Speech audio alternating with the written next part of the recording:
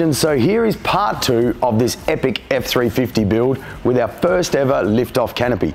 Now, if you haven't seen part one, click up here and go back and watch the first episode to this build. Now, let's get into it.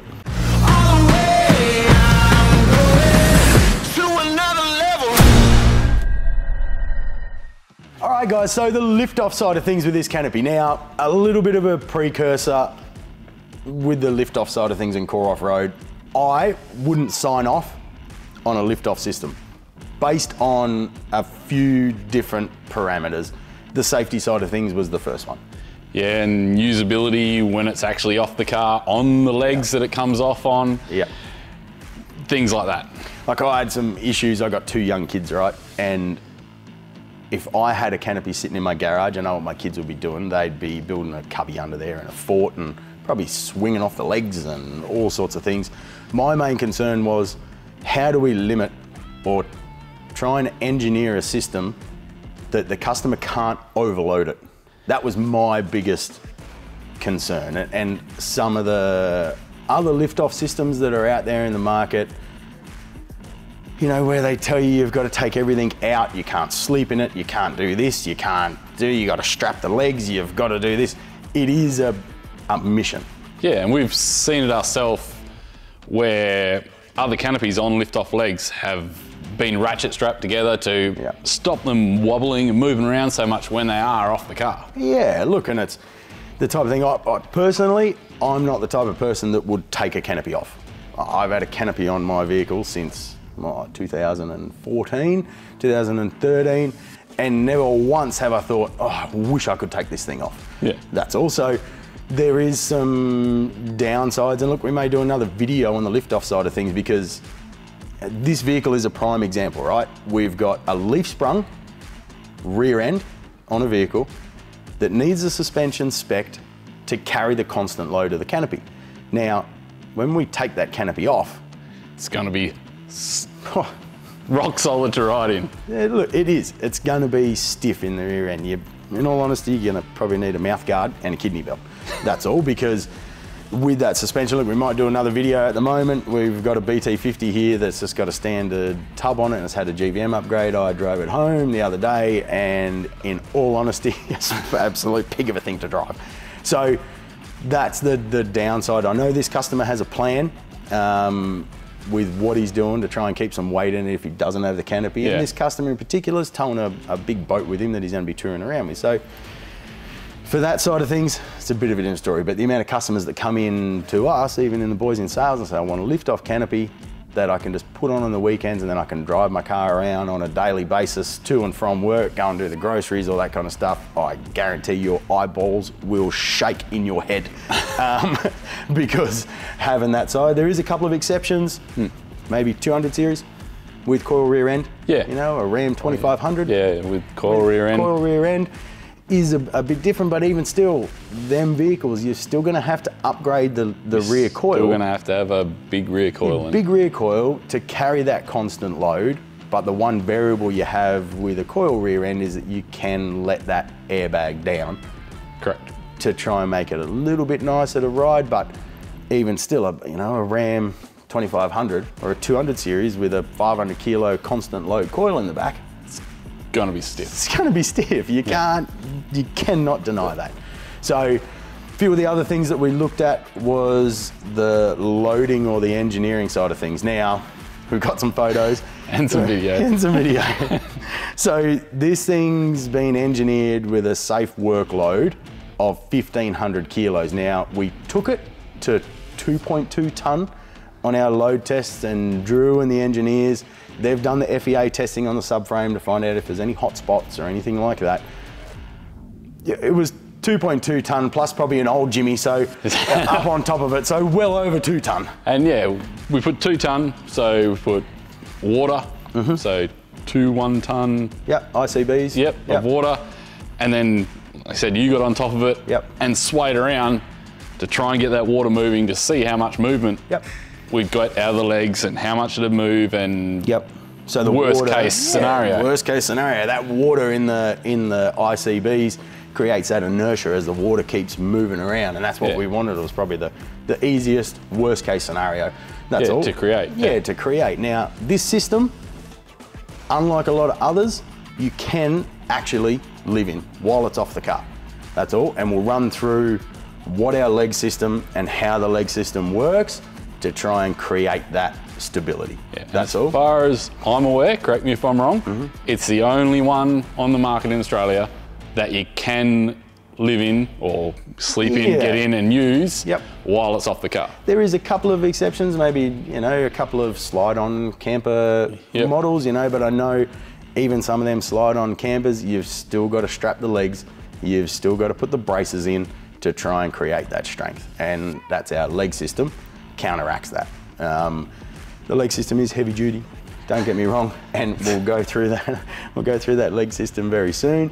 The other thing that I wanted was it needed to be easy for the customer. So unlike some of the other ones on the market where you've got to get a bolt through and then you've got to be a contortionist to get your hand into the space underneath the vehicle Put the nut on. to put the nut on and you've got to tape the nut to a spanner and glue the washer to the nut and all that. We didn't want that. All right, so underneath the subframe for the tray, there is actually a 16 mil steel plate that's bolted in. So there's an aluminium comp plate welded in, the steel plate bolts into that so that that bolt has 16 mil of engagement through that steel plate, through the canopy, which has got crush tubes welded into it so that it's quick and easy. So the only thing that isn't on here as this video is getting filmed today is the indicators or the bolt indicators. So these are gonna have a little wheel nut indicator on them so that the customer has a visual guide to know if them bolts on the canopy are starting to come undone, that's all. Moving or whatever. Yeah, moving, that's all. Um, so that process of making it easy. The other thing that we'll run through as we start to lift this canopy off is it actually has a guide system. Yeah, it's got some machine nylon cones, Yep. which go into a hole in the tray. Yep. So as you're lowering it down, it will self-center. Yep. So line up with those bolt holes. So you're not trying to move it around, Yep. get the bolt to get started. Yep. Once it's on, the bolts go straight in Yep. and you're good to go. and it makes that fitting side of things nice and easy. I know the, the first time we remember we were testing it, you know, if you're slightly out, trying to line up a vehicle With a canopy. with a canopy when you're trying to reverse it in and get that on point so that a bolt can drop straight into the hole, it's, it's difficult. I, honestly, that that's the one thing that would steer me away. That if I was out there with the missus and kids, do you know what I mean? And poor old Jodes is trying to guide me in and guide the vehicle and get it underneath. Like honestly, that's that's our Recipe for disaster. yeah, recipe for disaster. That's all. So, um, and the missus is saying going left, and you're meant to be going right. And Look, it, so that guide system is going to make it easier. And if it is slightly out, as the canopy starts to come down, the canopy will actually correct itself and drop down And with sweet. One one to 1.5 mil tolerance, so you can drop the bolt straight into the hole. That's all. Should we get into it? Yep, let's show 'em. So one of the first parts we've just, I got a ratchet here. The main bolts into the tray, 21 mil um, head on them. They're going straight down, as I said, into the subframe, into that steel plate. So we'll go through, crack these off. Too quick for you, Cole.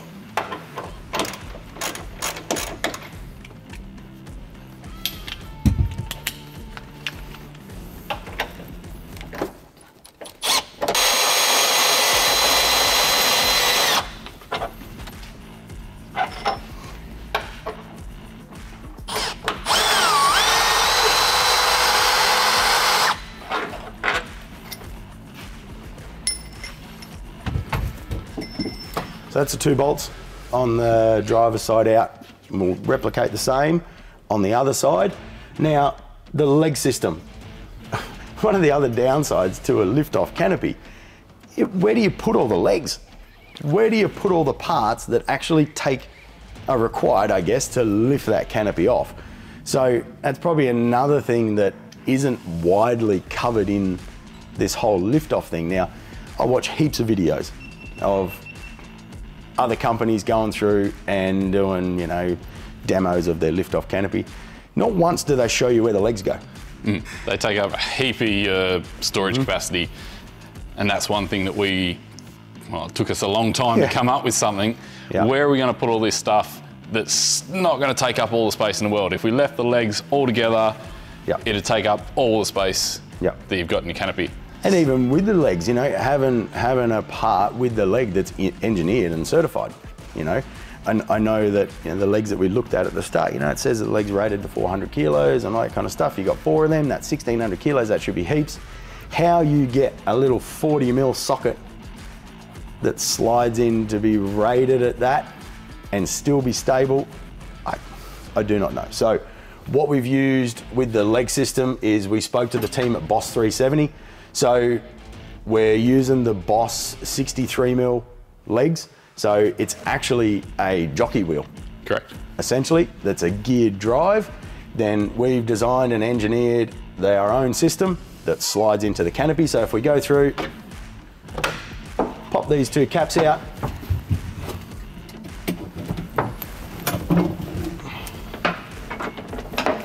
On the inside, the leg system, which is all made out of six mil alley, right? Basically slides in. So on this one, we've got passenger front,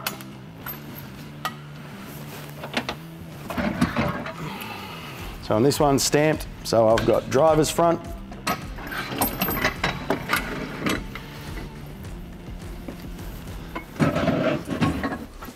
So driver's rear. Now, before we put this one in, we'll quickly touch on the actual mechanism that holds the leg in. So it's basically a stepped cone system with a thrust bearing or a thrust washer at the front side. So when you go through and the actual legs installed into the canopy, you tighten this up to six newton meters, I think, isn't it, Brent? I think it was six, six, or nine, seven one of the meters. We've got a special little tool that actually does the, the correct pressure. When you do that up, this machine cone slides into the end of the leg and flares the leg out. So that'll provide the stability along with keeping that leg in there. So with anything that you're manufacturing, you need to have tolerances. Yep. It would be perfect if that leg was one tenth of a millimeter, all right? But you need to have some tolerance for manufacturing and everything like that. Otherwise, it's too much of a pain to try and get in for the customer. Now, one thing that you'll start to notice with the lift-off system is that the legs aren't straight, right? Now, what our design was to try and create that stability on the canopy when it's not on the vehicle was to have the legs at five and a half degrees or six degrees out, along with five and a half, six degrees on that y axis as well, pushing out. So that as the canopy or as these legs are loaded, all of the force is pushing in Correct.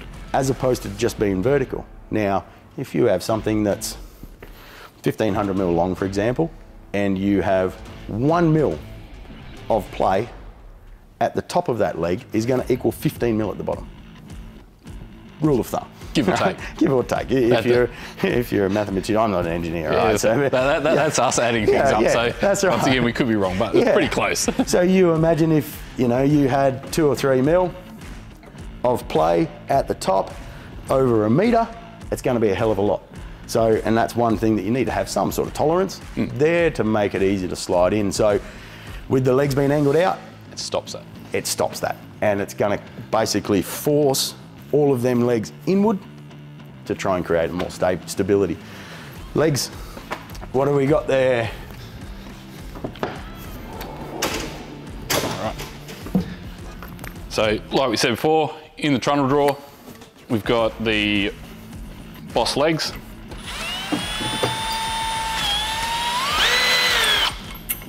So, what are these rated to again, Jimmy? Uh, they're they're rated to I think at closed height, 1600 kilos each. Each. Yep. So, that gives you the safety that if someone does put a canopy mm-hmm. on unlevel ground, Yep. and it's loaded more one side than the other Yep. or something like that, mm-hmm. we're still well covered. Yep, definitely. The big thing we wanted to try and reduce was try and reduce, have a system that has next to no slop in it. So if we've got a couple of mil here, then we've got a couple of mil at that end, and a couple of mil, that that's what the main issue was. That and we wanted to try and make it nice and easy for the customer.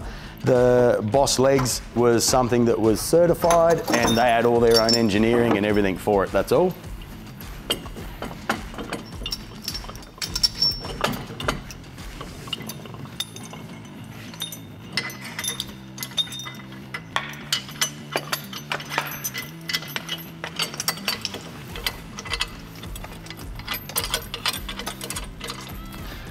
Jimmy's doing this, we'll just touch on with these clamps. They do come with a T-handle style clamp. Just to make things quicker and easier, we change them out to a bolt so they can just use a cordless and do them straight up. Nice, quick, easy. So with the Boss 370 leg system, what it allows us to do is allows us to have adjustment to suit different vehicle platforms. That's also, we can adjust the height of the leg to the top of the arm so that it clears the actual door of the canopy, but it also allows us to have additional extensions on the leg system. So for this particular vehicle, we've got the two 120 extensions, which they're quick and easy.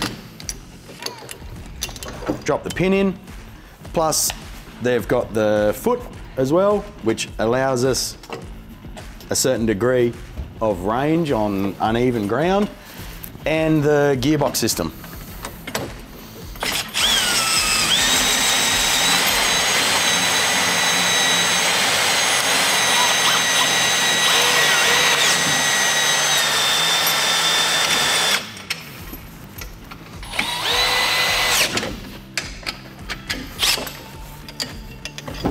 So the big thing with our two-part leg system is it allows it to be easily stored. Now, if this was one unit, it would be an absolute nightmare to try and store all of these legs. Yep.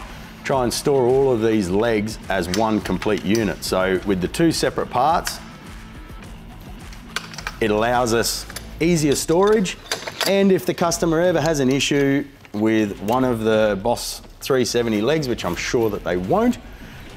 It's just the standard off the shelf part, that's all, that integrates back into our system. Same thing.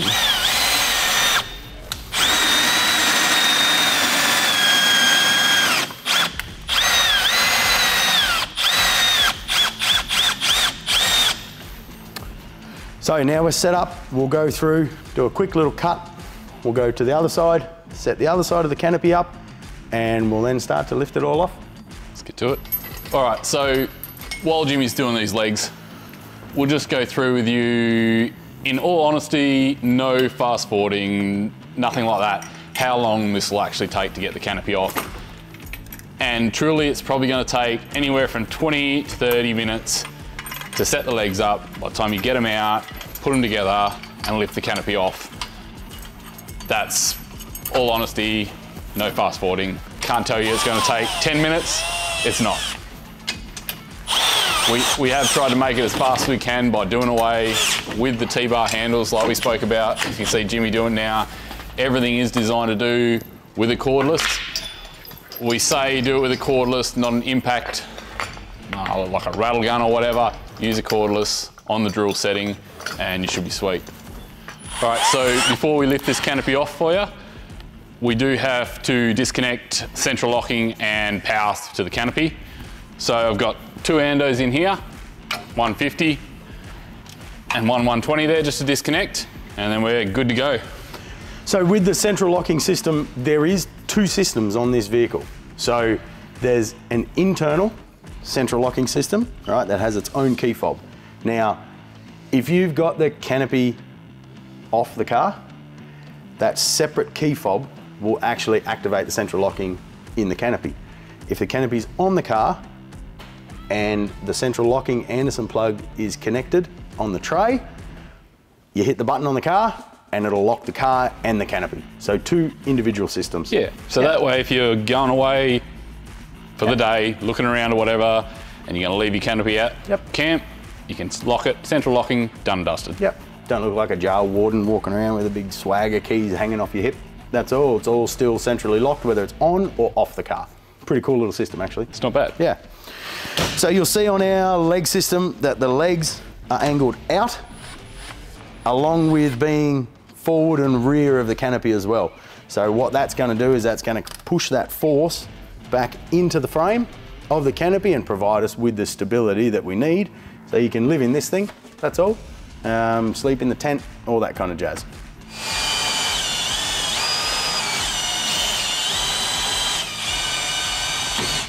Other side. Like a renegade, come to the top of your piece of fame. All the shots 'cause you're in charge. Dream big, you better dream large. All right, so we've lifted it up now. It's time to get the vehicle out now. In all honesty, having two people to do this, one spotting and the other one driving, just to make sure, that's all. Right, Brent.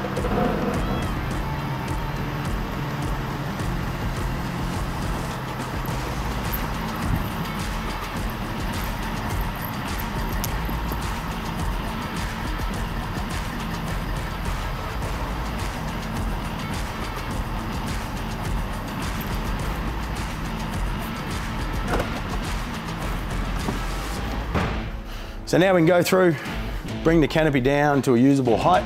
Do the fronts first, or Yep. back. Probably the back's higher, isn't it? Yep. All the shots 'cause you're in charge. Dream big, you better dream large. You wanna live life like a renegade, come to the top of your piece of fame. All the shots 'cause you're in charge. Dream big, you better dream large. So, as you can see, we've now lowered it down. It's off the vehicle and it's now down to a suitable height. The legs are still rock solid and the canopy itself is still rock solid. That's all, and that was our main concern was that you didn't have to worry about ratchet straps and braces from this leg to that leg and all that kind of stuff. Yeah, having the legs solid. And like Jimmy said, usable height. You can see the height of the car, where it was, give or take an inch or two, Yep. to where it is now. And it's the usual height. Yeah, it's perfect. That's Now all. it's just under your head for the door. Yep. Perfect height for all your drawers. Spot on. nice and easy to access, that's all. Even things, you can still see we're obviously still juiced up because the lithium system in the canopy. We've still got the Nomad ladder, which is gonna make it easier for customers to access. Keeps it nice and low to the ground. Even as we're sitting now, if we were to drop the entire way down to the pins on the legs, which is the lowest it could possibly go, your ladder's still not gonna hit the ground. That's all. So it's one of them things, if a customer did drop it all the way down, you know that there's still no dramas, you're still gonna be able to open up the ladder. Access wise, we'll now go through, lift the tent up and go through and climb up, but like even standing on that ladder, there's bugger all movement in that canopy. That's all. So we might go through, Brent. Yep. We'll undo the latches. Shut this down so you can see. All the latches off. We're good. Good to go. So once again, the Bundutop electric tent, super easy. Push of a button on the other side where Jimmy is. And straight up.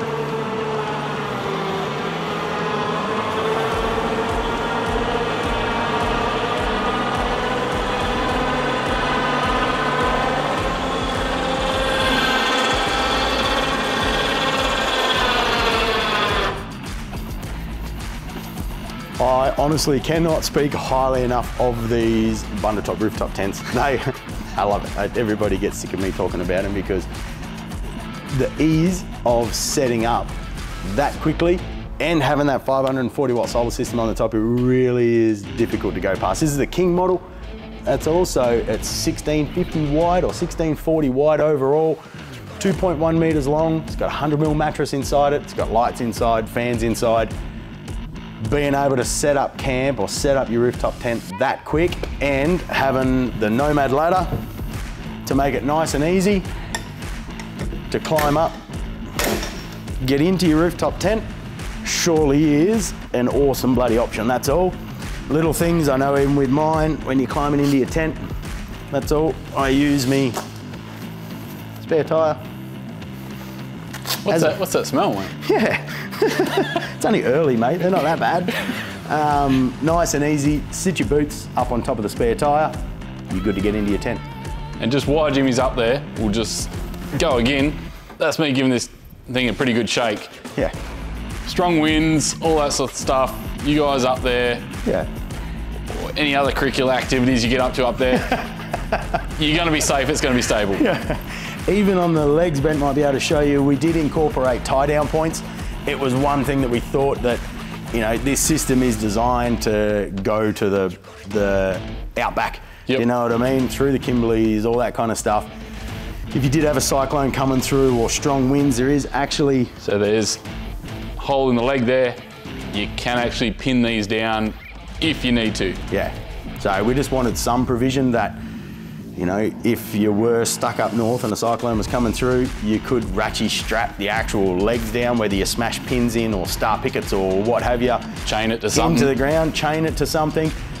Look, it was a simple thing. A couple of holes to be put in the design, just Yeah. to give the customer that option if ever they needed it. Under normal operation, climbing in, getting in out of the tent, you don't need to strap anything down. That's all. It's not going anywhere. No, not at all. So nice and solid system, and with our Nomad ladder, makes it nice and easy to get in and out of your tent.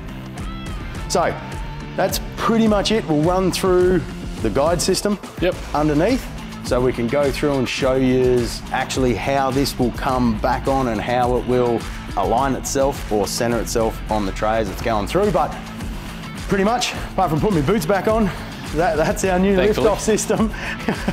our new lift-off system will go through, it might be a little quick fast forward to show you getting it back on the car, but in all honesty, I'd be banking off that 20 minutes, 25 minutes for one person in reality to actually get it off of the vehicle, that's all. Hmm. And I don't. I've never used another lift-off canopy Yeah. before, but I would say you're probably on par with most other systems Yeah, in That's that lift-off canopy yeah. range. That's Like, without doing a fast forward. Yeah. You know what I mean? I'm making a look, it's being honest with you guys, it's, you know, something that you need to factor in, and I don't, in know, honestly, I don't think because it is liverboard, if you're driving on a trip and you've got four or five nights to get there, well, you're never going to take it off. No, you're It's just gonna yeah, the use it on the car. Yep. And one good thing with our canopies, and especially our GTU model, even if it is on the car and you can't be bothered to take it off, well, it's still only going to take you five or 10 minutes to pack the entire canopy up, including your tent, your awning, everything. So it's still quick to pack up camp. So if you couldn't be bothered to take it off, at least then you can still quickly pack up, drive your car, put your boat in the water, do whatever you want to want, whatever you've got to do, and go from there. That's all. But if you're parking up somewhere for a month, definitely would be cool. take it off. Take it off, put the boat in and out of the water, run into town. And you don't have all that. One thing with a lift-off canopy, and like you said, if you are pulling up somewhere for a couple of weeks or something, having that off the car and being able to run around, do what you want to do. If you want to do some more serious fall driving Yep. or search some tracks that you don't want that extra weight on the car, Yep. it will help you out. Yeah, definitely. So definitely a cool little system. I hope we didn't miss anything for you anyway. Uh, we'll run through the last bit and then we'll come and say goodbye. So underneath here is our guide system so that when the canopy's coming down and onto the tray, if something is slightly misaligned, this guide system over here, so it's basically a CNC machined um, HDPE cone. So as the tray starts to come up, if it's slightly misaligned to one side, it'll actually push the canopy over so that when you go to drop that mounting bolt through and into the tray, it is perfectly aligned. So that's going to make it a bit easier for the customer to try and line everything up, especially when you're by yourself. You're trying to reverse the vehicle underneath the canopy. If you aren't 100% on the money with getting it in, this is going to be able to help you. And then back up on the tray, uh, Brent will show you the other section where these conical cones will actually go into the tray section. All right, guys. So, like Jimmy said, up on top of the tray here, we've got your bolt hole through the tray, and you've got that hole for the conical cone to slide into. So you get your checker plate on top. Underneath that, you got your six mil alley, and then your steel plate under there as well, which runs all the way through for the bolt hole and that guide. So that'll just slide straight in and line you up with the bolt hole next to it.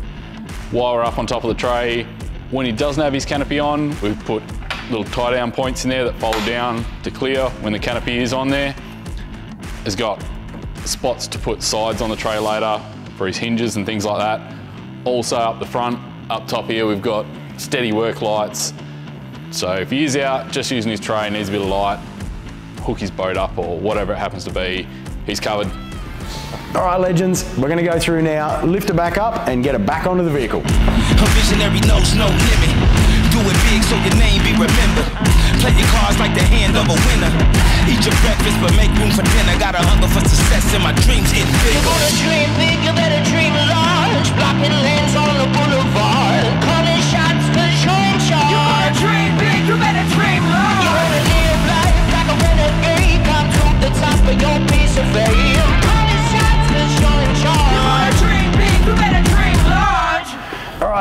So that is our new lift-off system. I hope that you enjoyed the video. Bit of a tag team between me and BA just to try and cover all the content. There's a lot in this thing, Yeah. so it's a longer video than normal. Yeah. So hopefully we didn't lose you halfway through. Um, but look, if you've got any questions, smash out a comment. Uh, send us a comment about Starlink system if you've used them before. Um, if you're uh, looking for any more information about our GTU videos, there's build videos up here, and there's also more cooking segments down there. And legends, thanks for tuning in. Anyway, remember the adventure begins where the bitumen ends. Cheers.